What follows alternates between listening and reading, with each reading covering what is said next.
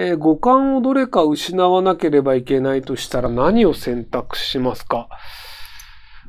嗅覚かな？僕、基本はあの鼻詰まりなんで、匂いわかんないこと多いんですよね。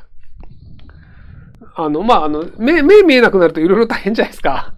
で、あの、味がわかんなくなると腐ったものわかんなくなるので、多分僕食中毒で死ぬと思うんですよ。なので味覚結構重要っていう。で、まあ、聴覚がないと、あの、横から来る車とかに突然離れて死ぬと思うんで、で、まあ、触覚わかんないとか多分大怪我すると思うんですよね。なので、その何がなくなっても死なないかなでいくと、匂いは、まあ、死なないかなと。ガス漏れの時は死ぬ、あの、死ぬかもしれないですけど、ガス漏れになった時は多分匂いが分かっても死ぬ可能性があるのと、あと、あの、うちガスないんですよ。あの、うち電気なんですよ。あの、パリの建物って、その、まあ、200年前の建物とか、あの、昔からの建物が多いので、そもそもあの、ガス通ってない建物が結構多いんですよね。なので、あの、うちはガス爆発のリスクがないので、なので、あの、匂いなくても大丈夫です。はい。